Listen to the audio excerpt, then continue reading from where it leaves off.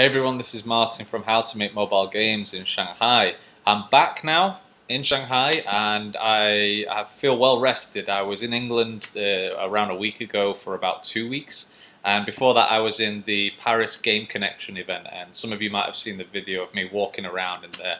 Uh, so I feel well rested even though I might not look well rested but I do feel good.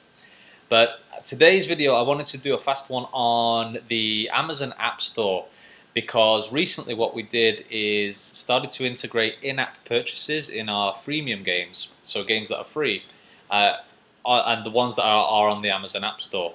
The reason that I wanted to do this is one is because that we need as developers, and this is for everybody, we need to always increase the exposure of our of our games. So the more markets or app stores that we're on, the more visibility we are, the more visible we are, the more downloads we get, and the more potential revenue we make. So I'd heard some good things about the Amazon App Store. I'd done a little bit of research and browsing around, and, and just for example, I, I, saw this one the other day, and a couple of guys said that the the conversion rate, the, the amount of revenue that they make on the Amazon App Store is way better than Google Play and even iPhone.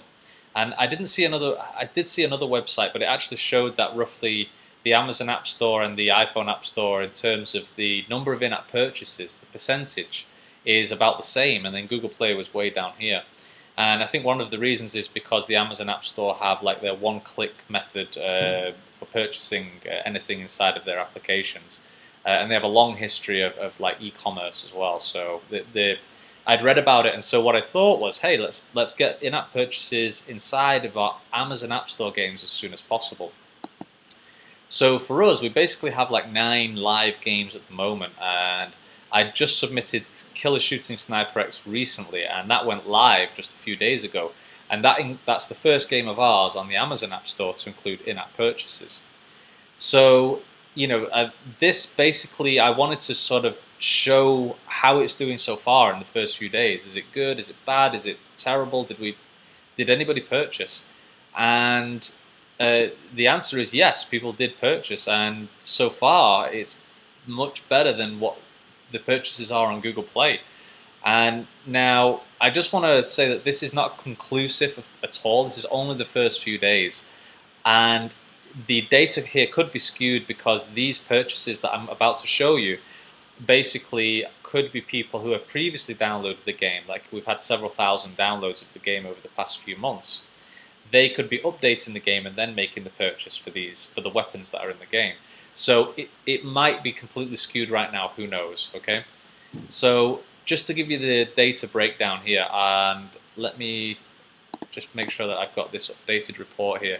So since the 13th to the 18th, so over this past week, we've basically had uh, 1,845 downloads. That's across all of the games, as you can see them listed here. Uh, the one that we're going to focus in on right now is Killer Shooting Sniper X and I'm going to update the report.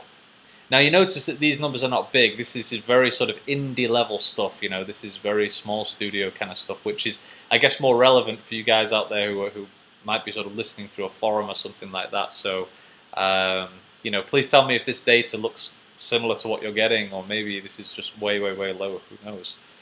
But uh, so okay, so the past week on Killer Shooting Sniper X, we had 574 uh, downloads and installs, and the game's free.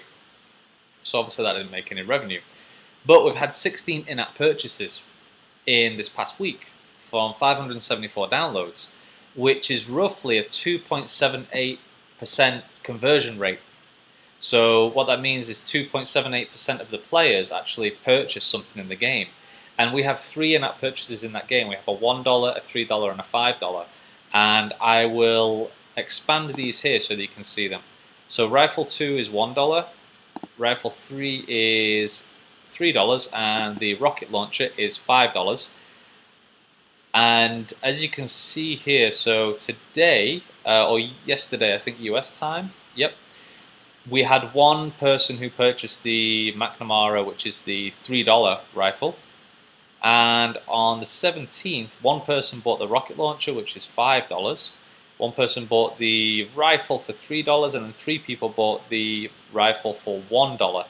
So, um, Yeah, I mean, it, it, like I say, it's not conclusive, guys. But basically, over this past five days, six days, or whatever, it looks like the Amazon App Store is really, really pretty good compared to Google Play. Uh, I'm sorry I don't have any Google Play data on me right now. I'd need to sift through that to check it out. But our Google Play downloads are not very, very large. Um, but this is actually a, this is actually a lot better. So what I probably will do is a part two video later, and that shows, hey, was this data consistent? Did it did it continue in this in this direction of, of being roughly two to three percent, or was it just because it was a it was an update and therefore previous players were downloading it, downloading the update, and then making the in-app purchases? So who knows? Uh, I don't know if 574 units relates to updates as well as new users. I don't know if that's the case. Um, but so far, you know, it's pretty exciting to see this. So, you know, the, I think the message is, guys, you know, get on the Amazon App Store so far and, and give it a try. It the integration for us to put the Amazon in-app purchase API in the game was very very simple.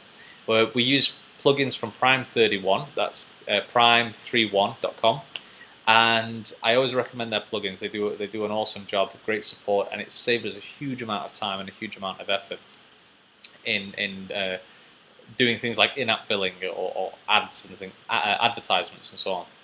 And but there is at the moment, if you go to the SDK section here, if you click on this and go to uh, if you go down to in-app purchases and then click on more, it gives you the the Unity 3 uh, API for free, so you can go in there and you can integrate it with with uh, your Unity Android game.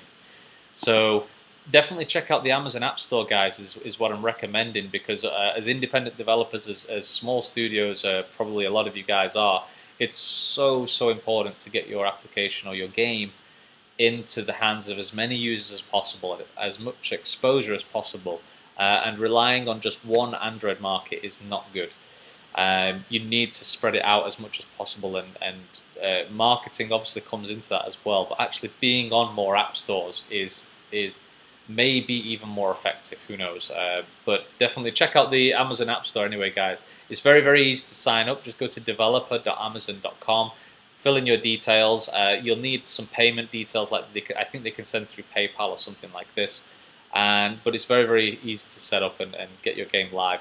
They do have a review time of roughly one week, which is very cool uh, because it actually means that once the game is live, you won't get many surprises. For example, on Google Play, they might just check your application on randomly, and if there's a problem, they'll just suspend it, and that's sort of flagged as like, say, you know, that's one strike out of say six strikes or something like that. So I'm actually liking I'm actually liking the Amazon App Store a lot more so far.